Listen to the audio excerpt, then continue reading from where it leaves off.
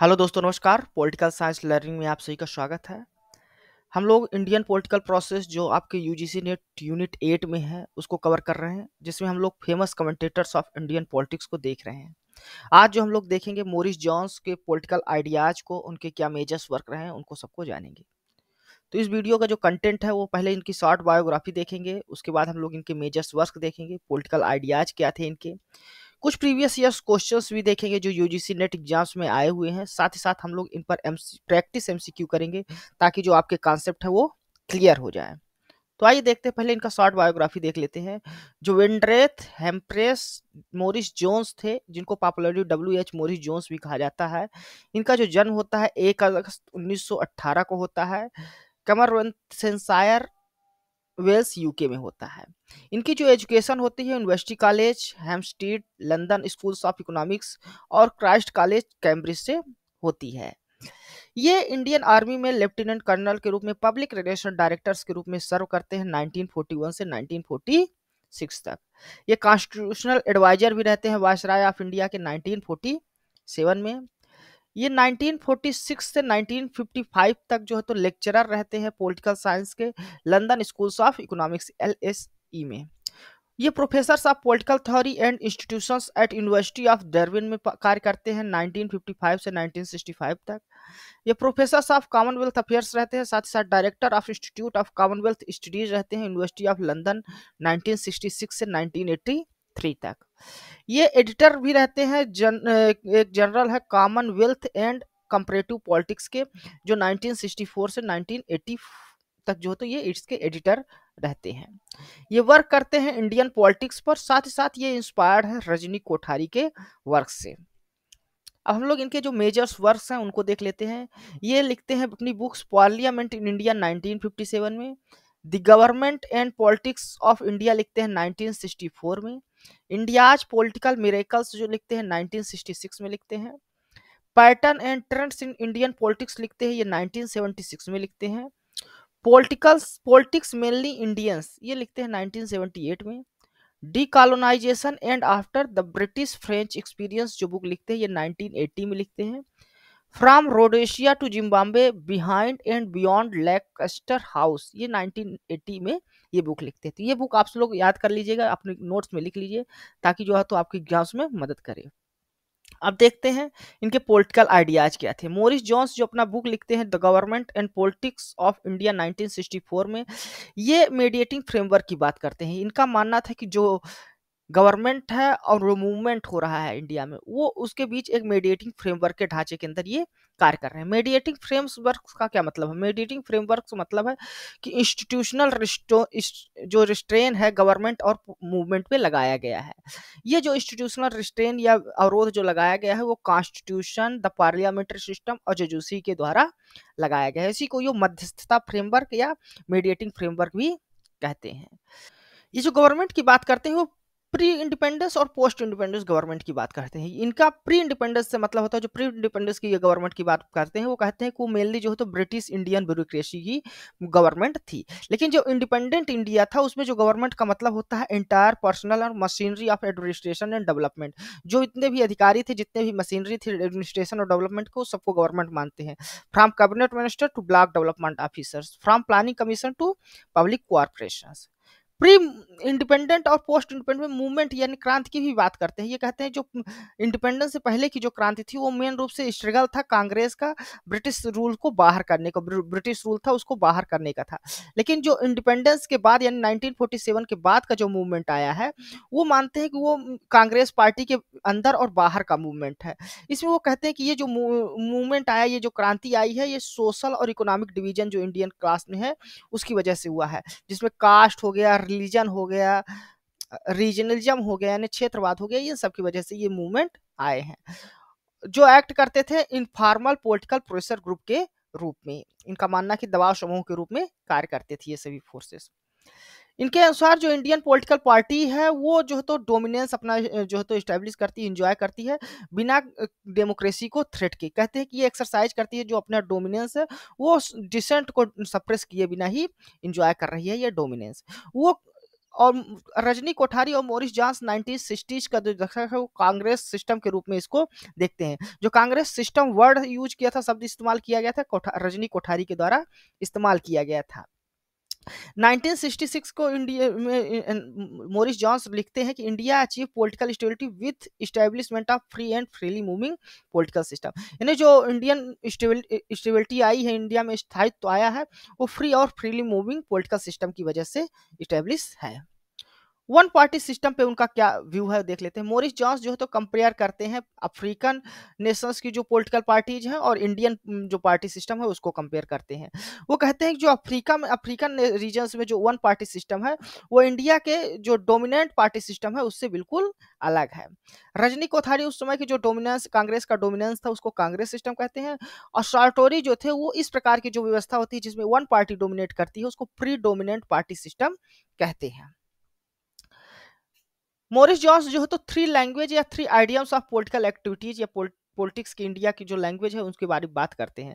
ये तीन लैंग्वेज कौन कौन सी थी? पहला था ये language of modern western politics जिसको मॉडर्न लैंग्वेज भी कहते हैं। इसमें है कॉन्स्टिट्यूशनल और एडमिनिस्ट्रेटिव लैंग्वेज का यूज़ किया जाता था, जैसे डेमोक्रेसी क्या है, लोकतंत्र क्या है, इस तरह के शब्दों का इस्तेमाल करके पॉलिटिक्स की जाती थी।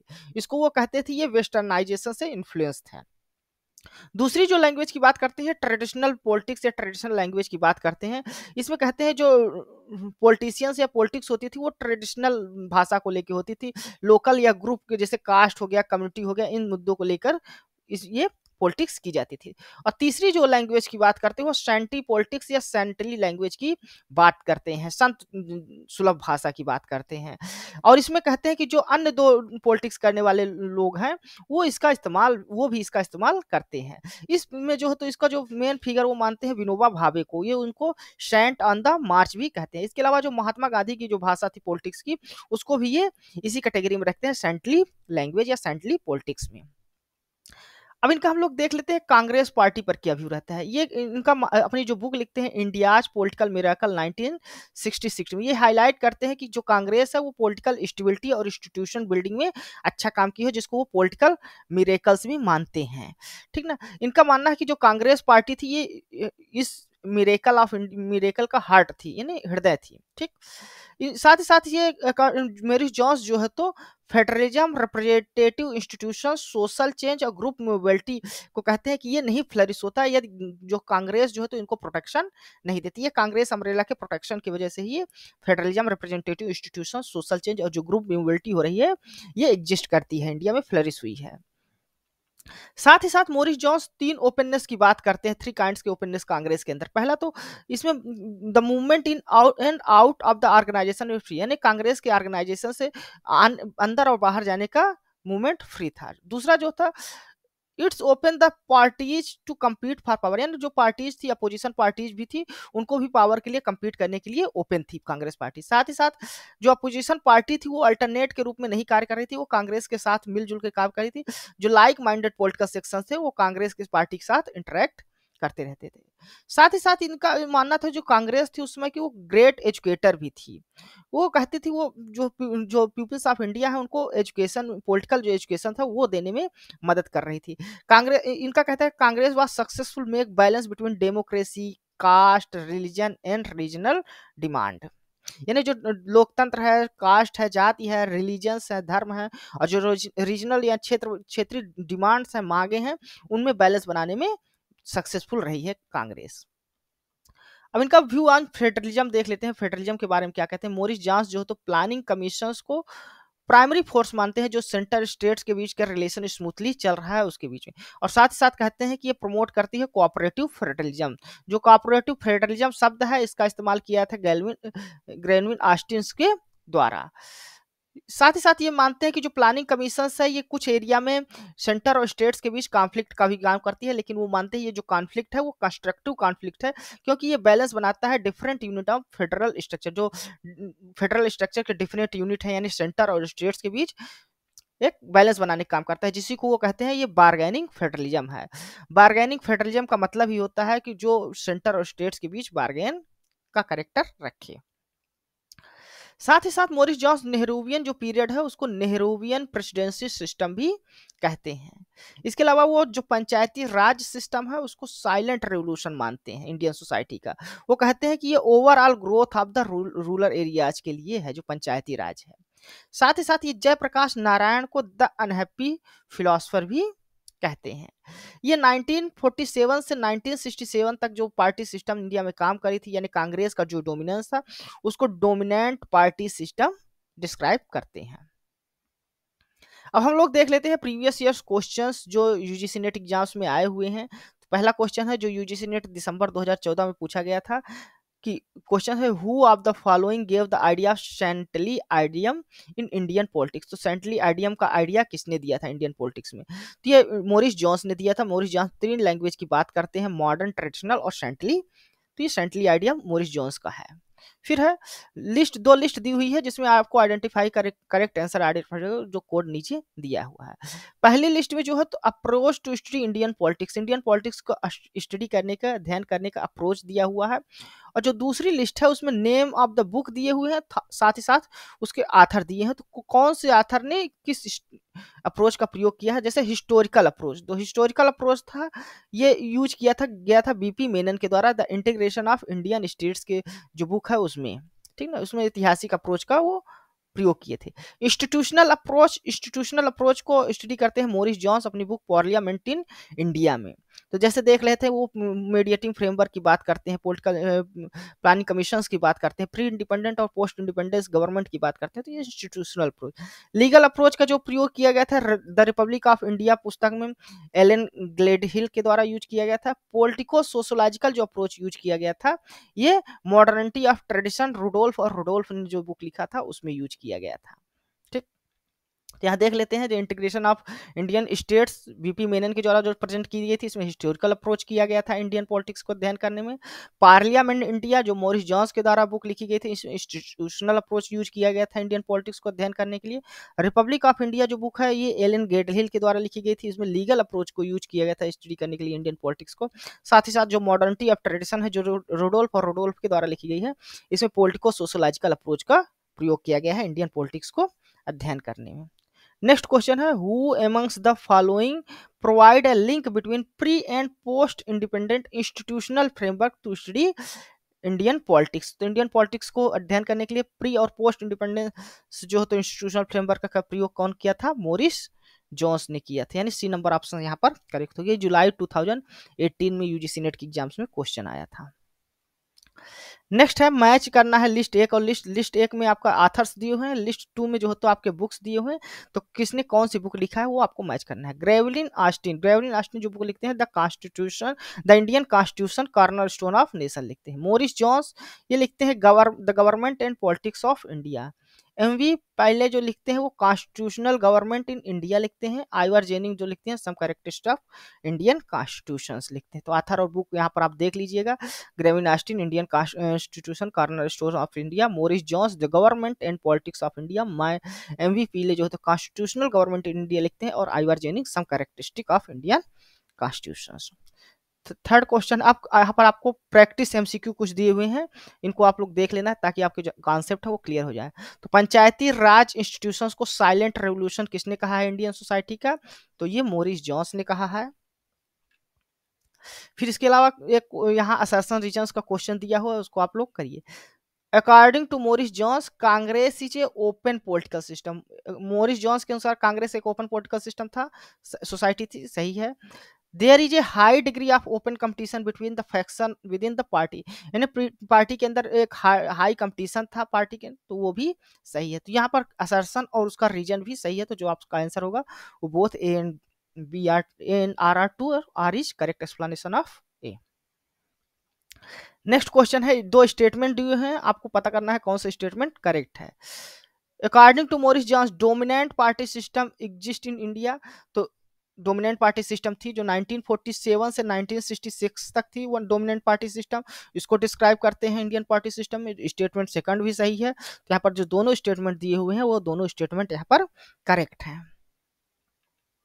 नेक्स्ट है who among the following dubbed Congress party as India's political miracle कौन इंडिया कांग्रेस पार्टी को इंडियाज के पॉलिटिकल मिरेकल कहता है? तो वो मोरिस जॉन्स कहते हैं।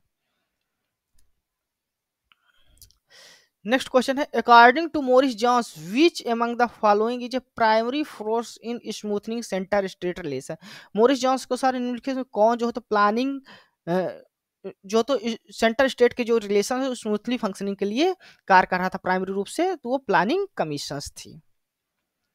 नेक्स्ट क्वेश्चन है who among the following call Indian federalism as a bargaining federalism Indian federalism को बार्गेनिंग फेडरलिज्म किसने कहा था? तो ये मोरिस जॉन्स ने कहा था। फिर है नेक्स्ट क्वेश्चन यहाँ पर असर्सन रीजन्स के क्वेश्चन है, एक असर्सन दिया है और रीजन दिया है, आपको उसको देखना है। पहला असर्सन क्या है? Morris Jones held that Indian politics as a interaction of government and movement within a mediating framework तो ये स्टेटमेंट सही है, वो मीडिएटिंग फ्रेमवर्क में मानते हैं कि गवर्नमेंट और जो मूवमेंट है, उसके बीच इंटरेक्शन है। साथ ही साथ जो रीजन बताते हैं इसका मीडिएटिंग फ्रेमवर्क क्या है? Mediating framework cannot the institutional resistance जो इंस्टीट्यूशनल रेस्टेंस है, जो गवर्नमेंट और मूवमेंट दोनों पर लगाया गया है, किसके द्वारा? कॉन्स्टिट्यूशन पार्लियामेंट्री सिस्टम और जुडिशरी के द्वारा। तो ये इसका रीजन्स भी करेक्ट है। तो यहाँ पर जो आपका असर्सन और रीजन है, दोनों जो है तो करेक्ट है और रीजन जो है तो करेक्ट एक्सप्लेनेशन है एक का।